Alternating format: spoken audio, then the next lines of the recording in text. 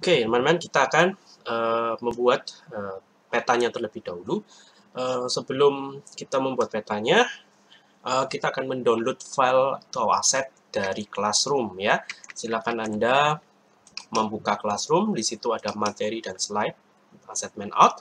Anda download mainout start.zip ya. Anda pencet tombol download, lalu langsung aja ini disimpan ke uh, drive uh, eh, HD Docs Anda ya. Anda simpan ke dalam drive HD Docs. Di sini saya akan simpan di HD Docs atau di dalam OBGD terserah. Saya akan rename namanya menjadi mineout.zip. Oke. Jika sudah Anda silakan melakukan ekstrak di sini. Ekstrak all.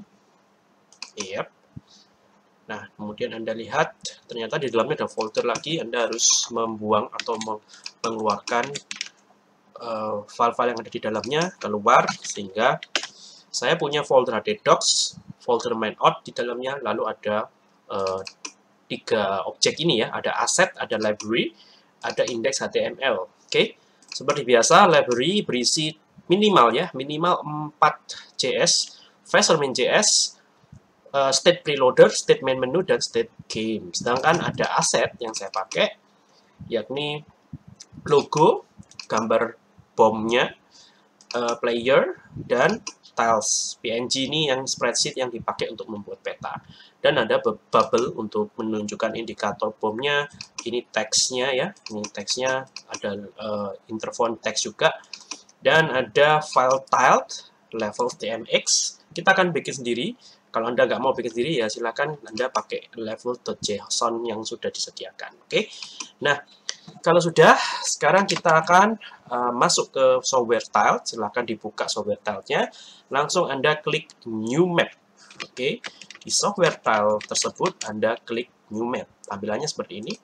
Nah, uh, untuk orientation, biarkan orthogonal, top down, layer formatnya CSV, rendernya right down. Nah, yang ini Anda tulis dengan benar, jangan keliru ya.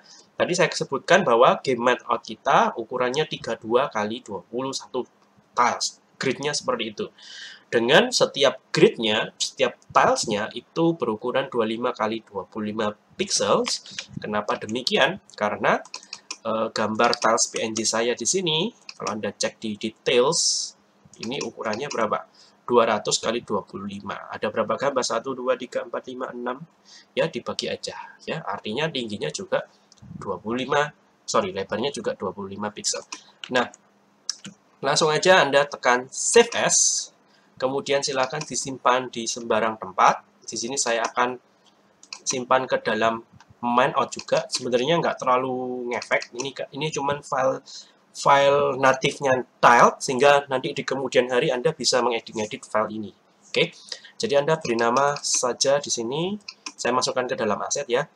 Main out kalau Anda pengen bikin game yang punya level 1, level 2, level 3, dan setiap level itu beda-beda ininya, apa namanya, denahnya, maka Anda bisa name, diberi nama yang sesuai levelnya. Misalkan level tutorial.tmx, level 1.tmx, final level.tmx, boss level.tmx, dan seterusnya. Oke? Karena game kita cuma punya satu level, jadi saya tulis mineout.tmx. Simpan. Nah, tampilannya seperti ini. Oke? Sebelum Anda mulai meletakkan berbagai macam objek di kanvas yang 32x21 grid ini, maka Anda harus memasang yang namanya tile set ya. Nah, caranya untuk membuat tile set adalah Anda klik new tile set di kanan, sebelah panel sebelah kanan ini dia. New tile set Anda klik. Nah, kemudian ini penting banget ya, penting banget. Perhatikan centanglah embed in map. Ya embed in map. Artinya tilesetnya di embed ke dalam petanya. Oke.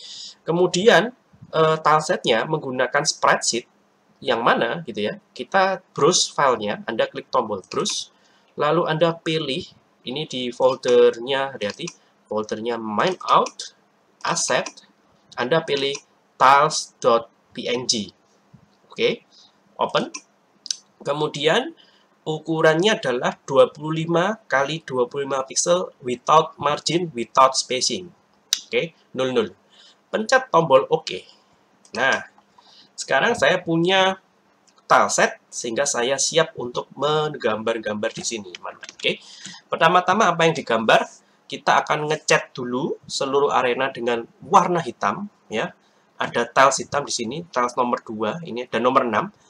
Apa bedanya 2 dan 6 nanti saya akan jelaskan sewaktu Anda masuk ke program ya, ke phasernya. Yang pasti Anda pilih dulu bucket uh, bucket tool ya buat nuang ya bucket tool Anda klik bucket toolnya lalu Anda klik yang nomor 2 hitam nomor 2 lalu Anda cat satu layar berwarna hitam menggunakan tile 2 oke okay? nah selanjutnya kita akan membuat apa namanya ini pagar di sekeliling permainan menggunakan gambar ini Anda klik ya kalau Anda bucket nanti munculnya begini nah di sini um, boleh juga sih Anda bucket muncul seperti ini, lalu Anda pakai apa namanya ini, uh, rectangular select, karena saya cuma mau bikin pagar, saya akan select seperti ini, oke? Okay? Lalu saya pakai bucket, kemudian saya tuang warna hitam lagi. Nah, jadilah seperti ini. Ya, teman-teman, uh, rectangle-nya dimatikan dulu supaya dia tidak terselect.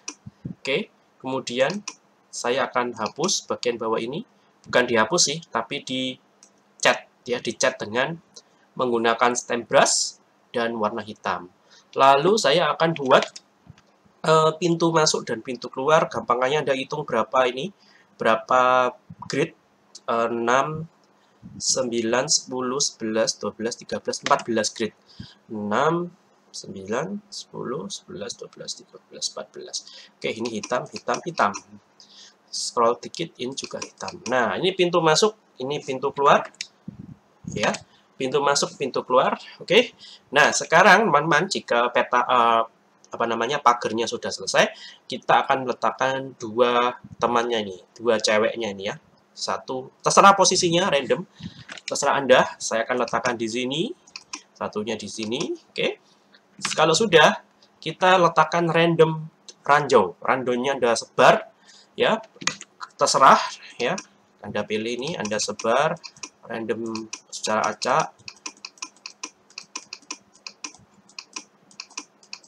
Yap. Yang harus diperhatikan adalah jangan membuat pintu masuk, pintu keluarnya tertutupi seperti ini, ya. Tentu saja gamenya tidak akan pernah uh, selesai. Jadi jangan mem membuat gang buntu, membuat apa uh, gamenya tidak bisa diselesaikan, teman-teman. Kemudian uh, juga jangan sampai membuat kodoknya ini Nah, seperti ini, karena dia tidak akan pernah bisa menyelamatkan, ya. Jadi, menyelamatkan si kodok ini. Jadi, jangan sampai Anda bikin uh, di buntu seperti itu, oke? Okay? Nah, kalau sudah puas dengan petanya, Anda simpan dulu, save, Oke, selanjutnya kita akan mengekspor peta ini sehingga bisa dibaca oleh Phaser. Phaser bisa membaca file JSON untuk peta ini, jadi kita akan ekspor bentuknya JSON. Caranya bagaimana? Anda klik File, Export as, pilih JSON. Oke, mau dibaca di GameMaker juga bisa ya. Oke, saya pilih JSON, kemudian Anda simpan ke folder main out, uh, folder asset, ya di situ, di sini tempatnya, tekan tombol save. Oke, itulah pembuatan peta kita. Jika Anda kepingin bikin level 1, level 2, level 3, silahkan ya. Nah, setelah ini kita akan mencoba membaca peta ini dan uh, kita load melalui Phaser.